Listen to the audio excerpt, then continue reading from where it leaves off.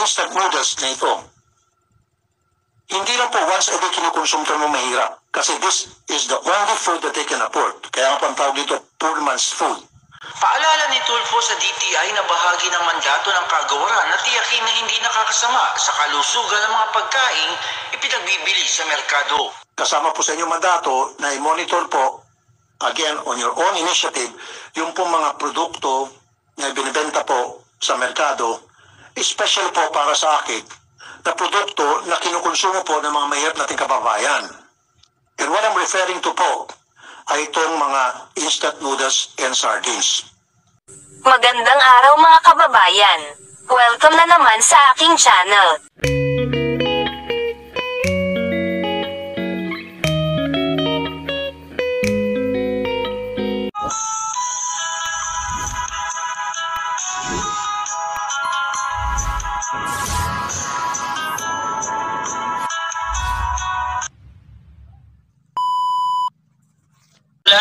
Packs ang instant noodles, sardinas at kadalasan ng mga ito din ang pantawid gutom ng masang Pilipino. Sa pagdinig sa Senado ng 2023 budget ng Department of Trade and Industry, nagbaon si Senator Rafi Tulfo ng mga instant noodles.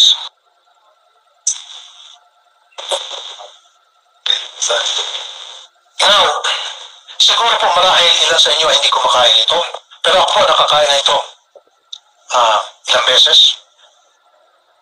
Kung babasahin niyo po dito sa label, napakataas po ng sodium content. Ang allowed lang po, daily sodium content, sabi po ng eksperto natin is 2,000 per day.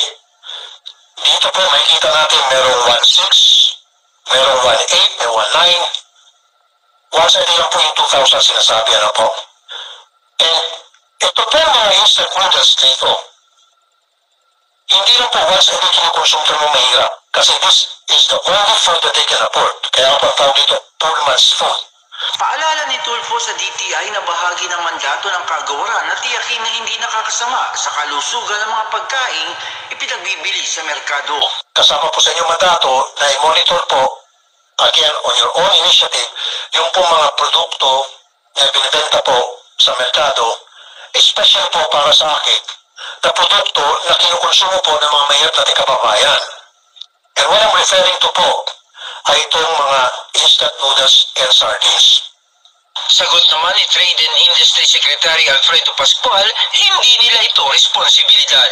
Unfortunately, uh, Mr. Uh, Your Honor, Senator Tulfo, the responsibility for the issues that you raise uh, does not fall on DTI, but rather on the Food and Drug FDA, Administration. Agriculture, and DOH, tama? Implementing agencies as uh, provided for in the Consumer Act, Republic Act 9394, the provisions of this article and its implementing rules shall be enfor- enforced by A. The Department of Health, Okay? With respect to food, drugs, cosmetics, devices, and substances.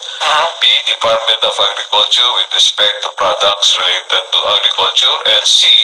Department of Trade and Industry with respect to other consumer products. Hindi na siya pinatapos ni Tulfo na halatang na hindi siya narinig na sagot. Not specified. So, nabanggit po yung pangalan dito ng DTI.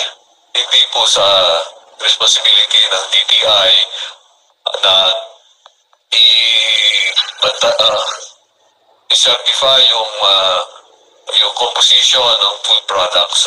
So, sorry sir, I have to interrupt you, Mr. Secretary. Ito naman po tayo, tuwing magkakaroon po ako ng hearing, example na lang po, yung sa energy, nagtuturoan po kayo. Nagtuturoan po, nakakalungkot po ito eh. Wala pong gusto umamin, wala pong gusto umako. Dito naman po sa Article 10, nakalagay doon, on your own initiative. So dapat po kayo mismo gumagawa ng inyong initiative. Hindi niyo po kailangan mapagsabihan. Kasi po, at stake dito yung kalusugan, welfare ng ating mga mahihirap na kababayan. Because these are the food o products na kinakain po ng mga mahirap. And siguro po, kayo po, I bet you, hindi po kayo kumakain dito kasi alam niyo naman po siguro, baka health, healthy. Uh, baka po kayo, hindi siguro kayo kumakain ito dahil alam niyo po, ang consequence kung palagi kayo kumain ito. Panunumbat lang ng senador sa DTI, dapat ay may inisyatibo na ito na matiyak na hindi nakakasama sa kalusugan ang mga pagkain na labis na tinatangkilik, lalo na ng mga mahihirap. Dapat po on your own, huwag po tayo maging Poncio Pilato maghugas ng kamay and pointing fingers at, sa ibang departamento. Hindi po maganda yan, hindi po healthy yan. Hindi po. Pangit po yan. Pag nalaman po natin na ito po pala ay mataas ang sodium content at narinig na po natin sa mga health experts, marami na pong sasabi, mga consumer advocate, paulit-ulit na naman po, dapat po umaaksyon na kayo on your own. Hindi po sabi nga, hindi po namin kasi trabaho yan. Trabaho ng FDA yan. Trabaho ng Department of Agriculture. Trabaho ng Department of Health. Hindi po. Dapat, ang gagawin nyo, hey, DOH, Agriculture, FDA, mag-usap-usap tayo. Teka muna. Eh, hazardous to health pala ito. Injurious sa health ng mga consumer, lalo yung mga hirap nating kababayan. Mag-usap tayo. Ganun po ang gusto kong marinig. Hindi po yung magtuturuan kayo left and right.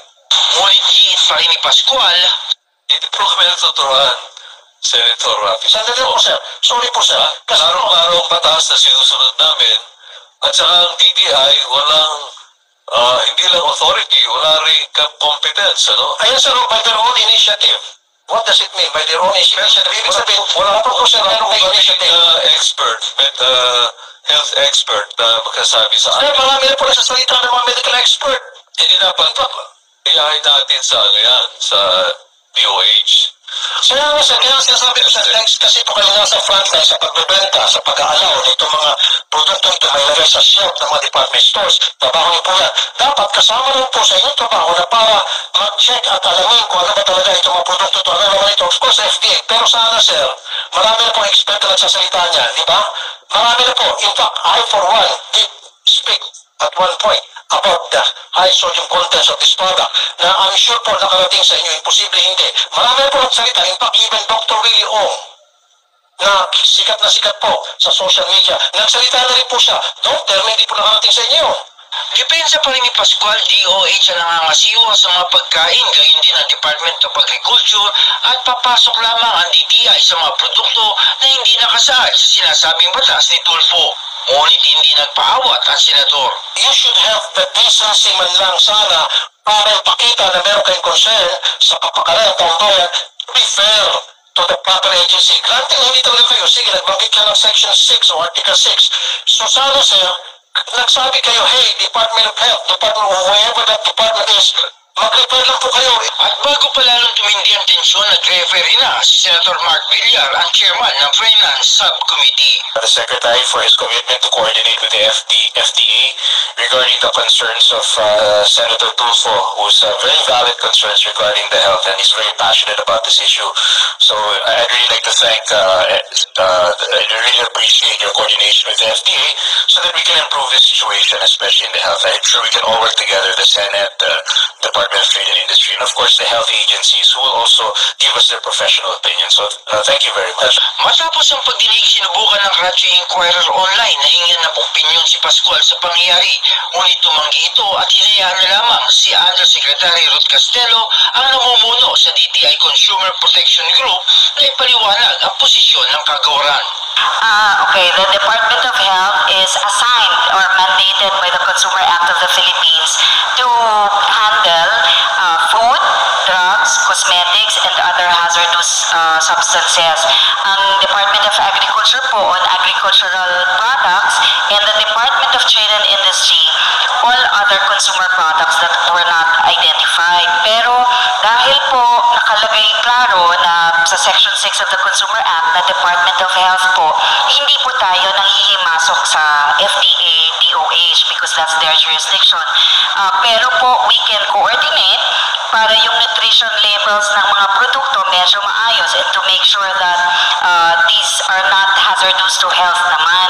Nais ni Tulfo na may nutrition label sa mga pagkain para malaman ng consumer kung ano ang pumapasok sa kanilang katawan mula sa mga pagkain na kanilang kinakain.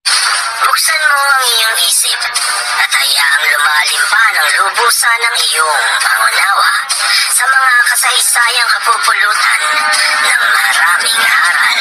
Tandaan, katotohanan ng susi. Sa tunay na kalayaan.